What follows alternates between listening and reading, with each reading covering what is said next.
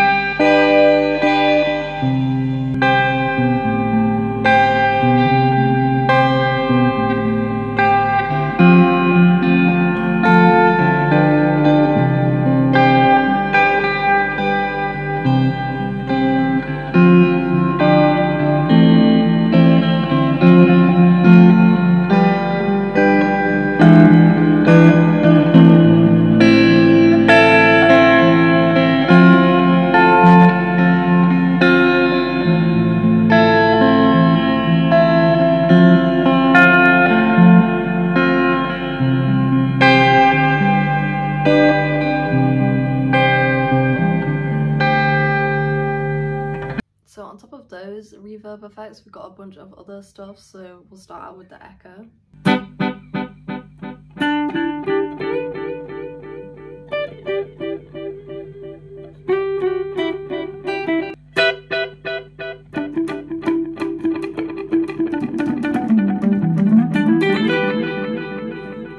Um, but I do like it I think it can be like, you know, as subtle or as prominent as you want it to be. So this pedal also has a tremolo effect. So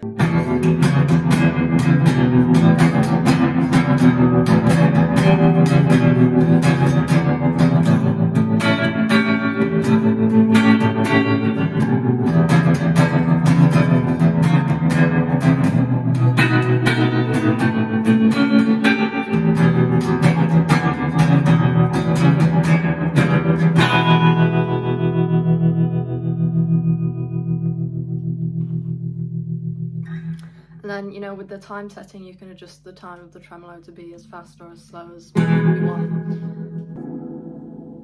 We also have this modulation setting.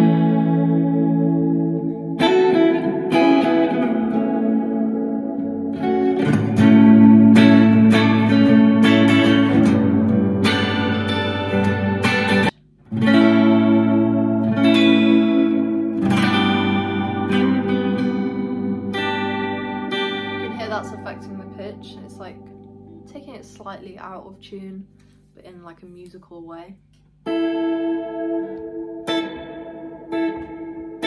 So one of my personal favorites is this shimmer effect. I think it's just really beautiful and a clean sound and it can be really musical. Just...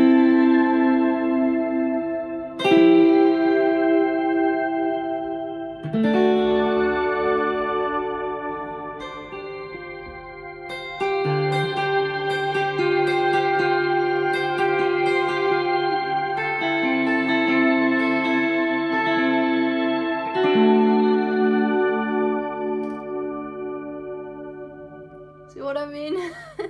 so I want to be open with you guys. Electro Harmonix did gift me this pedal quite a long time ago, but they didn't ask me to make a video with it or anything for an advertisement. I just did it because this is my favorite reverb pedal and I wanted to share that with you guys. So hope you liked the video. Um, if you'd like to support me or my channel, please check out my Patreon page, which is linked in the description. I also offer guitar lessons there and behind the scenes guitar content. Thank you guys so much for watching this video and supporting me and I'll see you soon.